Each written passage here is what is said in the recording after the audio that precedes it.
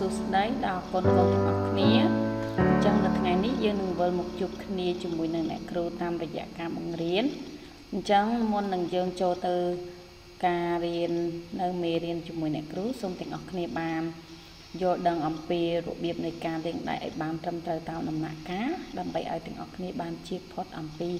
ជំងឺឆ្លងផ្សេងផ្សេងជាពិសេសគឺជំងឺ Covid-19 ណា ចាតោះអញ្ចឹងមើលទៅសម្ភារៈមួយចំនួនដែលកូនត្រូវត្រៀមសិក្សាជាមួយនឹងអ្នកគ្រូរួមមានសភៅពុំគណិតវិទ្យាសភៅសរសេរក្តារឈ្នួន Word ចាហើយនឹងខ្មៅដៃបន្ទាត់ចតលុបផ្សេងផ្សេងចឹងទៅដើម្បីកូនទាំងអស់គ្នាងាយស្រួលក្នុងការសិក្សារៀនសូត្រណាចាតោះ អញ្ចឹងនៅថ្ងៃនេះអ្នកគ្រូនឹងបន្តនៅមេរៀនរបស់យើងតាមរយៈមេរៀនរបស់យើងដែលយើងនឹងរៀនជាមួយគ្នាតកតងជាមួយនឹងមេរៀនទី7វិធីបូវិធីដកចំនួនដែលមានលេខមួយខ្ទង់យើងនឹងសិក្សាជាមួយគ្នានៅចំណុចបន្ទាប់ទៀត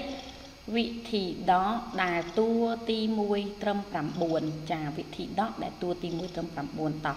អញ្ចឹងដើម្បីកុំឲ្យខាតពេលយូរសូមទាំងអស់គ្នាក្រឡេកទៅមើលរូបភាពនេះជាមួយអ្នកគ្រូចា យើងទាំងអស់គ្នារាប់ប៉ាំងប៉ាំងទាំងអស់នេះសិនតើប៉ាំងប៉ាំងទាំងអស់នេះមានចំនួនប៉ុន្មានចាអញ្ចឹងទាំងអស់គ្នាធ្វើការរាប់ទៅចាអរគុណច្រើនគឺមានចំនួន9អញ្ចឹងអ្នកគ្រូធ្វើការ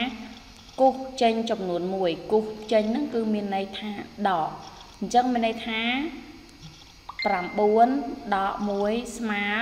8ចា9ដក1ស្មើ8 អញ្ចឹងនៅពេលដែលកូនសរសេរជាវិធីដកគឺកូនសូមសរសេរបែបនេះណា9ដក1ស្មើ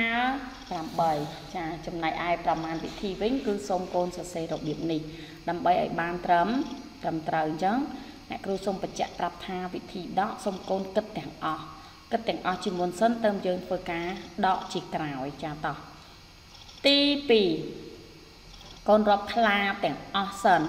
បន្ទាប់មកកូនមើលអ្នកគ្រូនឹងធ្វើការគូសខ្វែងនៅខ្លានៅលើនេះអញ្ចឹងមានន័យថាទាំងអស់គឺមានចំនួន9អញ្ចឹងនៅពេលដែលអ្នកគ្រូដកចេញអស់ចំនួន2មានថាគូសចេញហ្នឹងគឺអត់យកទេមានន័យថាខ្វែងហ្នឹងគឺអត់យកទេអញ្ចឹងមានន័យថានៅសល់5 7អញ្ចឹងចំណាយឯវិធីដកដែលកូនត្រូវសរសេរនោះគឺ9ដក2ស្មើ5 7ចាអញ្ចឹងគឺ កូនត្រូវ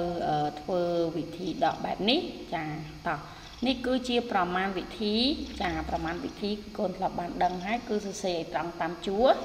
បើសិនជា9ដក1សរសេរ9ដក1 9ដក2សរសេរ9ដក2ចម្លើយដាក់តាមចម្លើយរបស់ប្រមាណវិធីឲ្យបានត្រឹម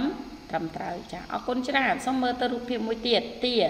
ចឹងអ្នកគ្រូនឹងធ្វើការឲ្យកូនទាំងអស់គ្នារាប់ទាទាំងអស់ចឹងទាទាំងអស់គឺមាន9ចាកូនអាចរាប់បានណាកូនរាប់ទៅហើយបន្ទាប់មកអ្នកគ្រូធ្វើការគូសខ្វែងមានន័យថាដកចឹង9ដកចេញ3នៅសល់ទាប៉ុន្មានទាំងអស់គ្នាមើលរូបភាពទៅចានៅសល់ទាចំនួន5 6ណានេះគឺហៅថាវិធីដកចាតួទី1គឺ9ណាអញ្ចឹងដកជាមួយនឹង3ចាតោះ 9ដក3ស្មើ5 6ចានេះគឺជាវិធីដក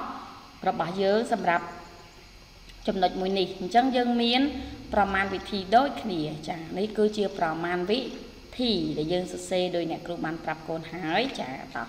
អរគុណចឹងអត់ពិបាកទេព្រោះយើងបានធ្លាប់សិក្សាជាមួយគ្នាហើយចឹងសូមមើលទៅបន្តទៀត